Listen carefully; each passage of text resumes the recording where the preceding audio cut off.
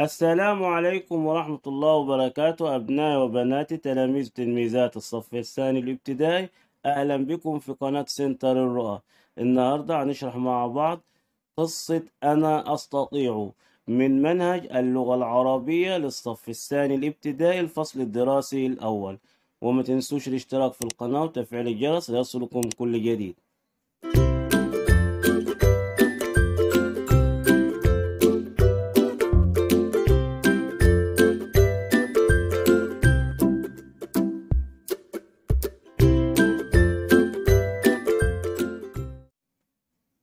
قصة أنا أستطيع. في فناء المدرسة وقف المعلم ليختار من التلاميذ فريقا لكرة القدم. يبقى أولاد المعلم في المدرسة عايز يختار فريق لكرة القدم من التلاميذ. اختار المعلم التلميذ آدم. لكن آدم قال أعتذر يا معلمي لا أحب أن أكون سببا في الخسارة. أعتذر يا معلمي لا أحب أن أكون سببا في الخسارة. يبقى يا أولاد المعلم اختار التلميذ آدم بس آدم اعتذر للمعلم قال له لا أحب أن أكون سبب في خسارة الفريق.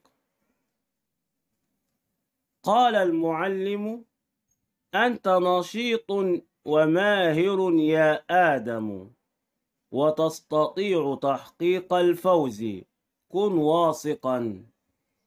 يبقى المعلم يا أولاد قال له أنت نشيط يا آدم وماهر تستطيع تحقيق الفوز وخليك واثق في نفسك.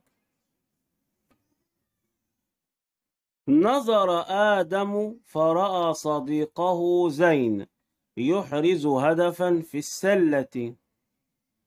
تحمس آدم وقال لنفسه أنا أستطيع سأحاول.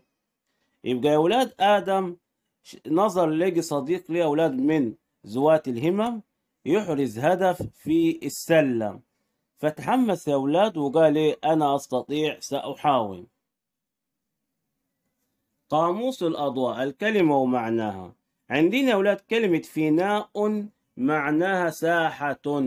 فناء معناها ساحة. ماهر معناها بارع. ماهر معناها يا أولاد بارع. تستطيع معناها تقدر على. تستطيع معناها تقدر على. واثق متأكد. واثق متأكد. يحرز يسجل. يحرز يسجل. تحمس استعد. يبقى تحمس استعد. هنيجي بعد كده يا أولاد هناخد المفرد وجمعه. فعندنا فناء جم... ده كلمة مفرد. جمعها يا أولاد أفنية. يبقى فناء جمعها أفنية. المدرسة جمعها المدارس. المدرسة جمعها المدارس. المعلم جمعها المعلمون. فريق جمعها فرق. قدم جمعها أقدام. قدم جمعها أقدام. التلميذ جمعها التلاميذ. التلميذ جمعها التلاميذ. هدف جمعها أهداف. هدف جمعها أهداف. الجمع ومفرده التلاميذ مفردها التلميذ ماهرون مفردها ماهر نفوس مفردها نفس. طب بعد كده يا أولاد هناخد الكلمة والمضاد بتاعها. فكلمة قال مضادها سكت. الخسارة مضادها الفوز. نشيط مضادها كسول. تستطيع مضادها تعجز. يبقى تستطيع المضاد بتاعها تعجز. طب هنا أولاد واثق مضادها شاك. واثق مضادها شاك. هنشرح يا أولاد أضواء على القصة. أنا أستطيع. أول حاجة يا أولاد الشخصيات اللي وردت في القصة المعلم وآدم وزين. طيب المكان اللي كانت فيه القصة يا أولاد فناء المدرسة والزمان أحد الأيام. أحداث البداية.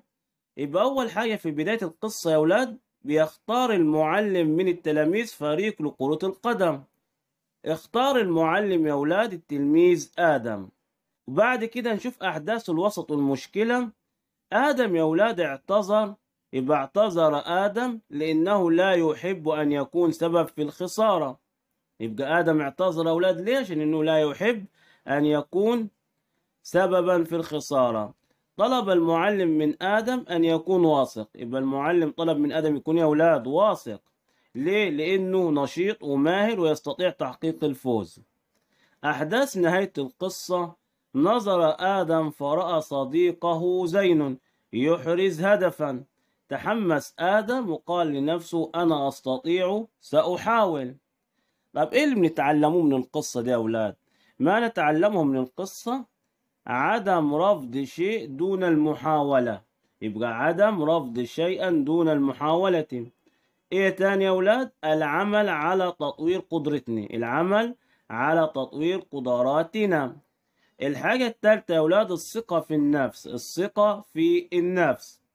الاستمرار في المحاولة حتى ننجح. الاستمرار في المحاولة حتى ننجح. ضمائر المتكلم وعندنا أولاد ضمائر المتكلم أنا ونحن. يبقى عندنا ضمائر المتكلم أنا ونحن.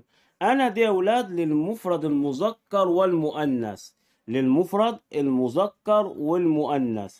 يعني الولد يقول أنا البنت تقول أنا. يبقى ده أنا يا أولاد ضمير متكلم للمفرد المذكر والمؤنث. أما نحن يا أولاد للجمع بنوعيه نحن للجمع بنوعيه. يعني مجموعة يا أولاد أولاد مجموعة بنات يقولوا نحن يقولوا يا أولاد نحن. لما يجي يتكلموا عن نفسهم يقولوا نحن. طب هنا يا أولاد هناخد أمثلة. أنا تلميذ نشيط. أنا تلميذ نشيط. طب هنا أنا ضمير متكلم للمفرد يبقى أنا ضمير متكلم للمفرد. طب أنا أستطيع سأحاول. أنا أستطيع سأحاول. أنا ضمير متكلم للمفرد. يبقى أنا يا أولاد ضمير متكلم للمفرد. نأخذ مثال على نحن. نحن تلاميذ نشيطون. نحن تلاميذ نشيطون. طب هنا أولاد نحن ضمير متكلم للجمع. نحن ضمير متكلم للجمع. طب مثال تاني نحن نستطيع سنحاول. نحن نستطيع سنحاول. يبقى هنا أولاد نحن ضمير متكلم للجمع. نحن ضمير متكلم للجمع. طب هنا أولاد القاعدة بتقول إيه؟ ضمائر المتكلم هي ضمائر تستخدم عندما يتحدث شخص أو أكثر عن نفسه. يعني الكلام ده أولاد ضمير بنستخدموه عندما نتكلم إحنا عن نفسنا. شخص يعني واحد مفرد يتكلم عن نفسه يقول أنا أو أكثر من شخص يقولوا يا أولاد يقولوا نحن. يبقى ضمائر تستخدم عندما يتحدث شخص أو أكثر عن نفسه. طب هنا ضمائر المتكلم هي إيه يا أولاد؟ أنا للمفرد المذكر والمؤنث ونحن للجمع بنوعيه يبقى أنا للمفرد المذكر والمؤنث أما نحن للجمع بنوعيه وبكده أولاد وصلنا معاكم لنهاية درسنا النهاردة. أرجو تكونوا استفدتوا معانا وما تنسوش الاشتراك في القناة وتفعيل الجرس ليصلكم كل جديد والضغط على زر الإعجاب. والسلام عليكم ورحمة الله وبركاته.